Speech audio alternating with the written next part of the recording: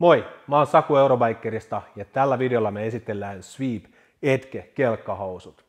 Eli kyseessä on 300 denierin kankaasta valmistetut repäsulojat kelkkahousut, jotka ovat myöskin täysin vedenpitävät.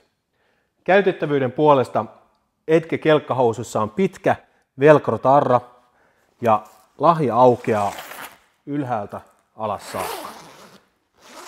Erittäin helppo käyttöinen. Lisäksi lahkeessa on hyvä lumilukko.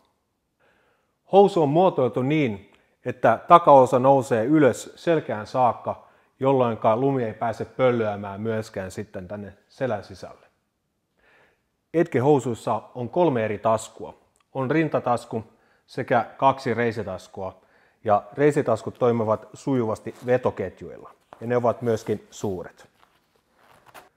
Edullinen kelkkahousu pitää sinut myöskin lämpöisenä, sen takaa 150 grammanen vanuvuori sekä vedenpitävä Drytech-kalvotus. Hyvä valinta!